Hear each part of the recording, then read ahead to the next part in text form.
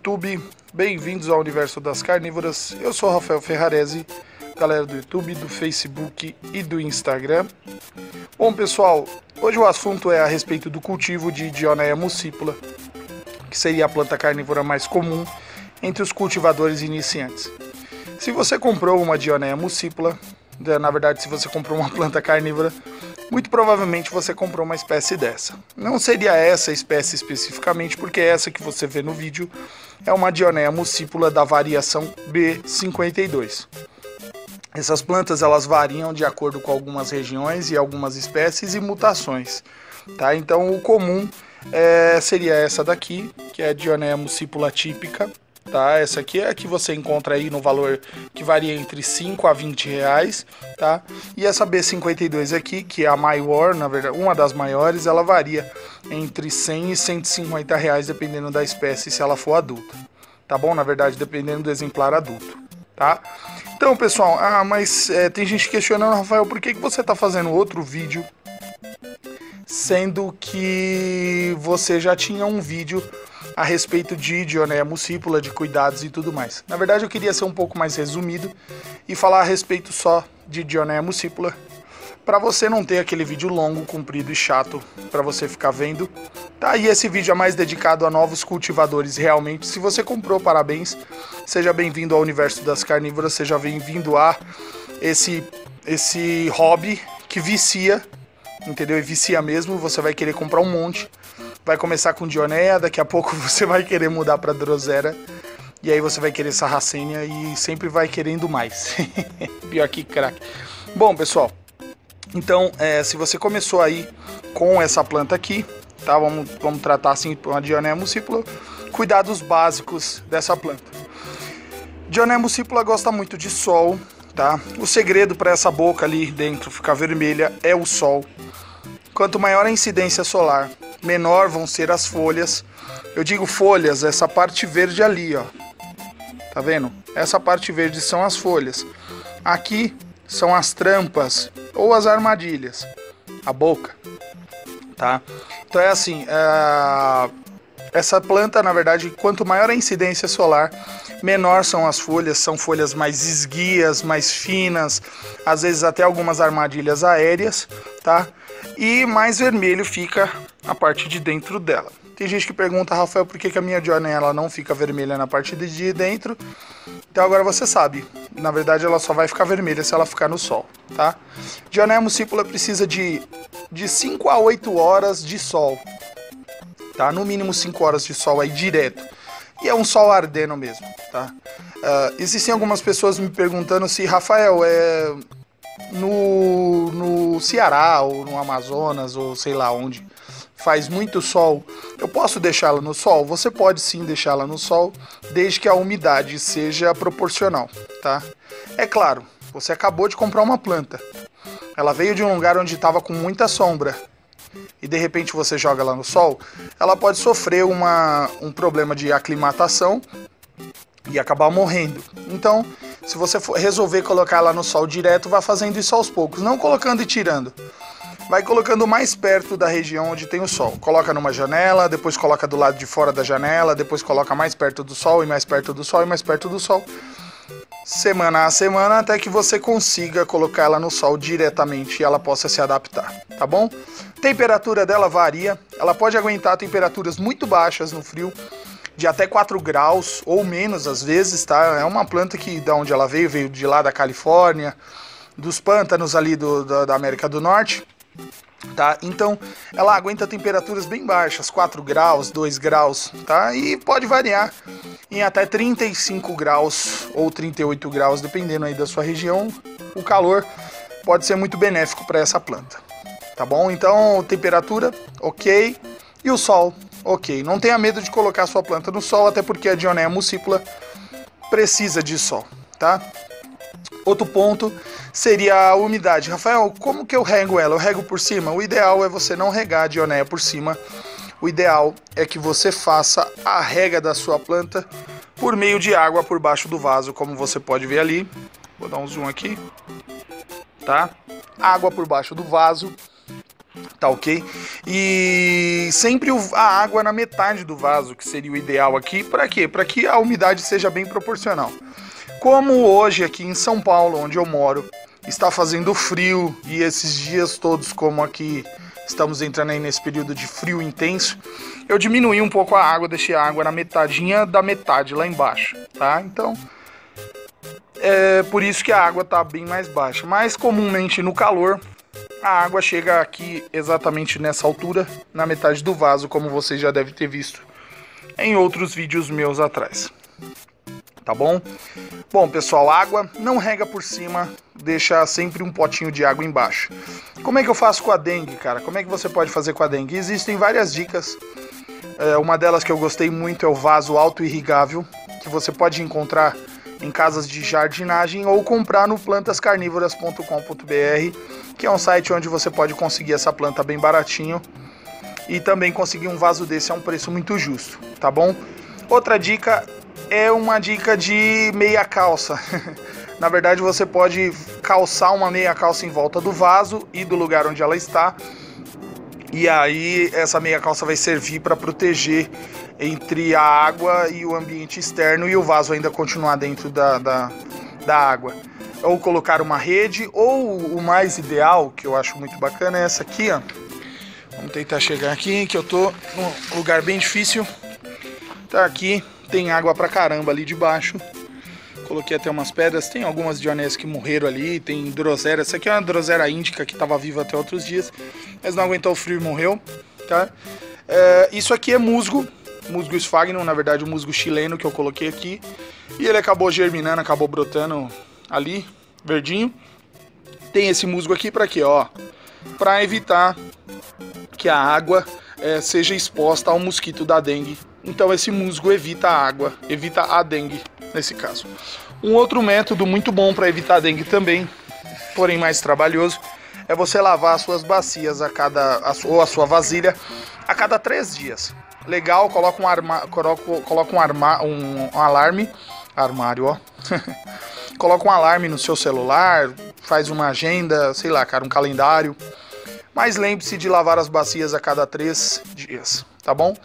É, recentemente aí eu tive um, um alerta relacionado a peixes, tá? Então, é, se você quiser utilizar, eu na verdade não sou contra, Porém, existem aí algumas normas e algumas regras relacionadas a isso em, em relação aos maus tratos do animal.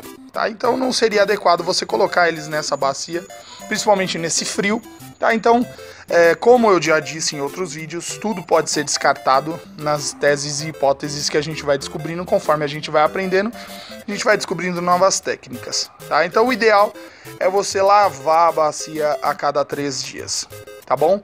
Se você quiser, coloque uma rede em volta do lugar onde está uma tela, alguma coisa assim, que não impeça a incidência solar e que mantenha o mosquito longe, também é uma ideia. Porém, os outros insetos também vão ficar longe, tá? Então, cara, com relação à dengue, é, o ideal é que você use a sua cri criatividade.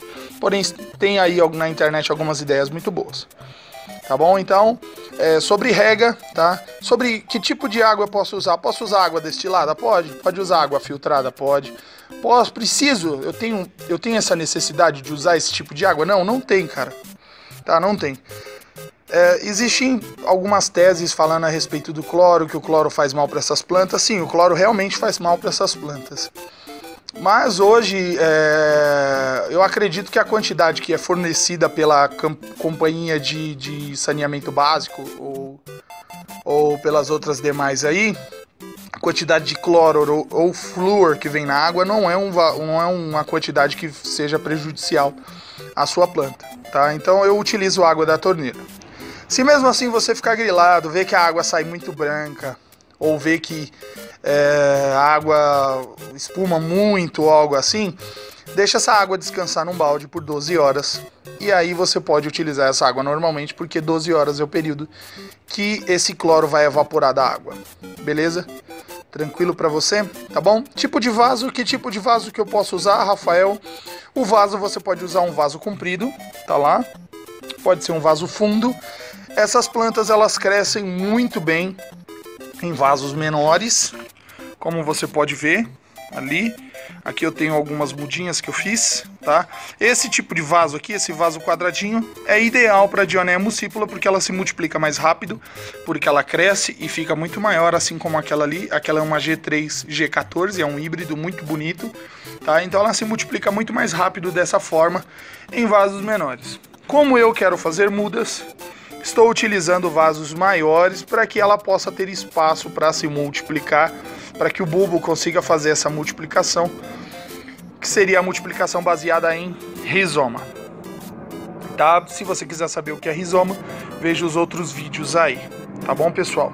Então, sobre vaso, fica aí a dica: utilize vasos menores, mais estreitos e mais altos. Assim e assim, assim e assim, tá bom? Vou pegar um vaso na mão aqui que eu acho que fica mais fácil de entender, viu? Esse tipo de vaso seria um vaso ideal. É um vaso fundo, olha o tamanho da mudinha lá, é um vaso fundo, um vaso quadrado, além de ser muito mais estético, porque olha só, como você pode perceber, ele cabe melhor dentro da bacia, ocuparia, hum, eu conseguiria colocar muito mais vasinhos se todos eles fossem quadrados. Só que a mula aqui resolveu colocar um vaso redondo, outro quadrado, um redondo, outro quadrado, um redondo, outro quadrado, outro oval, e eu me lasquei. Aí agora eu não consigo mais achar desse vaso aqui. Tranquilo, pessoal? Bom, substrato. Tem gente me perguntando a respeito do substrato. Como diria o meu mestre e o, o, o Valdemar, cada um tem a sua receita. Porém, eu vou dar a minha receita para vocês que estão iniciando agora. Utilizem musgo sphagnum. Tá? O musgo sphagnum é um musgo é, semi-desidratado, é um musguinho, é, na verdade, ele é fácil de ser encontrado, mas ele vende pela internet, existem vários sites aí que vendem, tá bom? Você consegue encontrar facilmente com o Valdemar Schossland, que o nome vai aparecer aqui agora. Esse nome aqui embaixo aqui, esse com esse sobrenome aqui, tá? Você consegue comprar esse musgo facilmente com ele. Ele entrega em todo o Brasil para você aí num preço muito justo, tá bom? Garanto para você que você não vai encontrar mais barato e não compensa também você comprar em outro lugar, até porque o musgo dele é de primeira qualidade e vai ser muito bom para sua planta. Alguns deles podem até germinar assim, ó. Esse aqui é o musguinho, ó. Ele germinou, ficou verdinho, ficou bonitinho. Beleza, pessoal? Então aí fica aí a dica. Tem gente que me pergunta, Rafael, posso adicionar areia? Pode adicionar areia também. O grande, a grande sacada desse substrato é ele não compactar. Por que compactar? Porque as raízes da dioneia precisam de aidação que significa oxigênio nas raízes. Então, o ideal é que você, nesse período, utilize é, cascalho, ou areia, ou, vermicu ou perlita. Vermiculita não, tá? Deus que me livre. Mas que você utilize perlita, perlita expandida, tá? Nesse caso, para quê? Para que você consiga dar essa drenagem aí na, nas raízes. O ideal mesmo é que você utilize musgo esfagnum puro. Tenho utilizado musgo esfagnum puro e minhas plantas vão muito bem, obrigado. Tá bom? Beleza, pessoal? Bom, um resumão bem básico aí para você começar a cultivar essas plantas carnívoras, tá bom? Não precisa ficar tirando do sol, colocando do sol, tirando do sol, colocando do sol faça o básico, simplesmente deixe ela lá no sol. Ela não é bicho, ela não é animal. Apesar dela ser muito legal, dela ser muito interessante, não fique brincando com essas armadilhas, porque as armadilhas da Dioneia possuem um tempo, tá? Na verdade, de abertura e de fechamento, que seria o, o, a quantidade de acionamentos. Toda vez que ela fecha e toda vez que ela abre, foi-se um ciclo, um acionamento. Fechou, abriu mais um, fechou, abriu mais um, tá? Quantas vezes ela pode abrir e fechar antes de travar e morrer assim, ó? Tá começando a ser reciclada, tá? Uh, ela vai acontecer isso depois de quatro, entre três e quatro vezes. Pode acontecer antes, pode, ah, mas ela abriu e fechou uma vez só, cara. Pode acontecer sim. O normal é entre três a quatro vezes. Depois disso, ela vai travar, aberta ou fechada, e vai acontecer aquilo ali, ó. Tá vendo aqui? Tá vendo aqui? Tá vendo aqui? ela acionou, ela atingiu o volume máximo, né, de acionamentos. Ela vai secar e no lugar, lá no miolo, tá vendo ali, ó? Aqui, sai do meio triculária. Aqui no centro estão nascendo novas. Deixa essa armadilha ficar toda preta para depois você cortar ela, tá bom? Deixa a planta fazer a reciclagem primeiro e depois você desativa a, a folha, tá bom? Por quê? Porque aí a planta vai, vai dessa folha aqui, ela vai conseguir fazer a reciclagem e adquirir energia para poder gerar uma nova armadilha, tá bom? É importante lembrar que se você adquirir uma planta dessa agora entre janeiro e julho, ela pode não vir tão bonita porque ela está passando por uma fase muito legal, que é a dormência, tá? A dormência, na verdade, é um fato em que essas plantas, elas se ela morre todas as armadilhas, vamos colocar assim, ela vai morrer, ela vai se fechar no seu bulbo central, lá no seu rizoma, e a partir daí ela vai, depois quando chegar a primavera, adquirir forças para poder voltar com toda a força, igual essa aqui, ó. Essa típica, tá, que é a que você deve ter comprado, ela chegou na fase de dormência geral e aí aconteceu isso aqui. Pode acontecer da sua dioneia ficar desse tamanho aqui, ó, tá? Ou dela morrer totalmente, igual aquela dali. Rafael, ela morreu? Ela não morreu, cara. Essa a Dioneia, na verdade, o que ela está fazendo ali é um período de dormência. Ela vai ficar assim, ela não morreu, ela não secou totalmente. Larga de ser impaciente, pelo amor de Deus, eu garanto que teve gente que jogou Dioneia viva fora, tá? Aconteceu isso, ela vai voltar dessa forma aqui. Ela está fazendo divisão de rizoma, apesar de você não enxergar isso, ser curioso e ir lá mexer dentro do bulbo central, tá? Deixa a planta se multiplicar, tá bom? Ali tá, depois da, da dormência, ela vai voltar com toda a força e vai ficar igual essa daqui. Beleza, pessoal? Tranquilo. Ah, minhas armadilhas estão ficando pretas, é dormência. Ou falta de umidade, cara. Deixa a planta na água. Em hipótese alguma, deixa o substrato secar. Nunca deixe ela sem água beleza? Não brinque com as armadilhas, não deixe o vaso cair, não deixa qualquer um ficar mexendo na sua planta, deixa ela parada num canto, quietinha, larga de frescura com a sua dioneia e você vai ir muito bem com ela e você vai ver que é muito legal cultivar esse tipo de planta. Estude, aprenda, não dependa dos outros, busque suas informações, crie suas teses, crie suas receitas, crie seu livro de cultivo, pesquise, não dependa da Wikipedia, tá? Procure no Google, procure em livros, leia o Savage Garden, que é um livro muito bom. Traduza ele. Se lasque tentando traduzir ele, tá? Mas procure, estude. Se você não estudar a respeito dessas plantas carnívoras, você não vai ser ninguém nesse cultivo. Tudo o que nós ensinamos, tudo o que nós aprendemos foi porque nós pesquisamos e nós estudamos. Hoje existem fóruns, existem chats, existem páginas do Facebook, existem WhatsApp e existem cultivadores dispostos a ensinar cada vez mais a vocês. Beleza, pessoal? Se tiverem alguma outra dúvida, postem aqui no nosso canal. Sigam a gente no Instagram arroba Universo das Carnívoras. E no Facebook é colecionador de carnívoras. A página Universo das Carnívoras do Facebook será desativada porque aquilo lá é um inferno para administrar. Então eu estou utilizando apenas o meu perfil pessoal. Porém, a página do YouTube também serve muito bem caso você queira aprender um pouco mais e queira tirar suas dúvidas. Eu estou aqui para responder. Posso demorar algum tempo, mas eu respondo para você. Beleza, pessoal? Bom, galera, espero que vocês tenham gostado. Fiquem à vontade, pesquisem o nosso canal. Se tiver alguma dúvida, elabore uma questão bem elaborada e mande para mim. Não mande perguntas incompletas, não mande frases sem ponto. Pelo amor de Deus, é tão difícil interpretar algumas frases e eu posso acabar respondendo errado. Tranquilo para vocês? Bom, galerinha, Sejam bem-vindos ao nosso universo, espero que você tenha gostado. Muito obrigado pela atenção de vocês. Se você gostou, dá um joinha aqui embaixo, dá um like aqui.